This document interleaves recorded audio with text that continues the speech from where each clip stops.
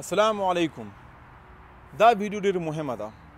ځکه که ته چې د افغانستان په حالت باندې دردیږي او د مسلمانانو په حالت باندې زوریږي نو دا ویډیو تر اخره وګوره او دا ویډیو لازمی هم باید شریک شي ځکه دی ویډیو کې زه یو ملهم ټوټه لرم چې کوم کې تم برخه اخیستی شي تاسو په دې خبره سئ چې موږ 15 میلیون ماشومان سرک باندې لرو څلور میلیون زموږ ځوانان معتادین دي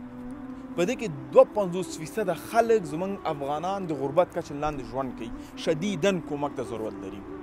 الحمدلله په تیرو نه میاشتو کې قمر وکول شول چې دوه زره نه زیات فامیلونه صف کې د قمر کیر سیستم کې تر څو پورې هغوی ته موږ همیشه مفت علاج وکړو چې کله مریضان کیږي موږ د سلهاو فامیل ته ډیر جدي کومکونه کړي دي په دې کې لسهاو فامیلونو ته موږ ژوند جوړ کړی دی تجارت هم جوړ کړی سو پرې خپل ځان په خپل سپورټ کیو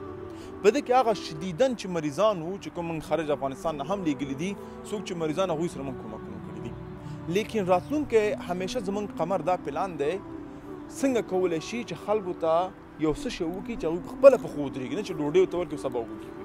نو دې دپاره موږ مختلف پلانونه لرو او دې پلان کې ستاسو موږ ته کومک پکار دی قمر یو سیستم لري چې پغه تاسو خپل ماستر کارت، ویزا کارت، ګوګل پې، زوفورت ورایزون، ماسترو، پی پال په هر کا سیستم باندې تاسو کول ځان ثبت کړئ او چې میاشت چې هر څونه وسم کیږي هغه پیسې ورکړي او دا حدیث رسول الله صلی الله علیه وسلم چې الله سبحانه وتعالى هغه کار ډیر خوخي کوم دوامدار کی هغه وړو کې هم وي یعنی 15 ډالر تاسو هم ورکول شي او زما تاسو دا چیلنج دی تاسو ځان ثبت کړئ چې هر څومره ورکول شي پنځه یا لس میاشت کې هیڅ هم نه دي زمونږ هغه په اروپا کې او په امریکا کې زمونږ هیڅ هم نشو پوره کولی خو والله په افغانستان کې د ماشوم ته او فامیل ته هغه ډېر څه کولی شي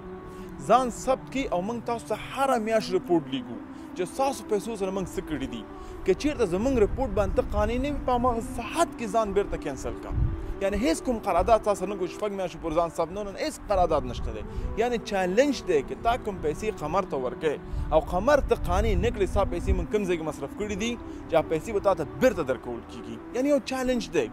امتحاني دپاره ځان صف کوي فقط امتحان دپاره زه پوهېږم په افغانستان کې مشکلات شته دی اعتبار ډېر سخت دی لیکن موږ دا چیلنج سره راغلي یو زمونږ چیلنج قبول کړئ ځان ثبت کړئ چې هر څونه موس کېږي پنځه لس شل دېرش ورکړئ افغانستان خلکو دپاره که چیرته موږ تاسو خپل رپورټ سره قانع نه کړئ بیر ځان کینسل کړئ او بل دا ډېر مهمه خبر تاسو وکړم وروڼو خویندو چې قمر د خپل اداري مصارفات ته یو روپۍ هم د پیسو نه اخلي ځکه موږ سل فیصد ډونیشن پالیسي لرو ته یو روپۍ چې هم تاسو موږ ته راکوئ چې هر بخش ته راکوئ عمق بخش ته ځي زمونږ د اداري مصارفات ته مونږ یو روپۍ هم دې پیسو نه اخلو ځکه الحمدلله د مختلف دنیا نه مونږ سره ورونه شته دی چې مونږ اداري مصارفات ته مونږ ته پیسې راکړي د افغانستان د مورګانو اولاد خو مونږ بیرته نشو ژوندی کولی د افغانستان د ښځو میړونه خو مونږ بیرته نشو ژوندي کولی په افغانستان کې یتیمانو پلاران خو بیرته نشو ژوندي کولی څه شی کولی شو په شریکه باندې د سترګو نه اوښکې پاکولی شو او په بدل کې ورته لږ آرام ژوند ورکولی شو او دا تنا قمر نشي کولای دا تنا تاسو نشي کولای دا 15 میلیون افغانان چې د افغانستان نه بیرون دي موږ به لاس ریوځې کو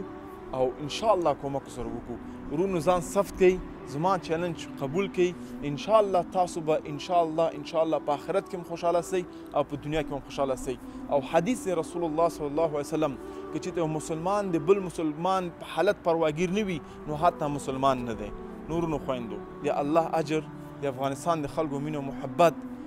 ځان زړه ته نږدې کول آخرت او دنیا چې غواړئ نو ځان ثبت کړئ که ځان نشئ ثبتولی نو تاسو نه ډیر زیات په عذرن خواهش کوم چې دا ویډیو هم شریک کړئ او نور خلکو ته هم ولېږئ تر څو پورې موږ د کمپاین کې سره یوځای شو او خلک ځان ثبت کړي تر څو پورې موږ افغانستان خلکو سره کومکونه وکړو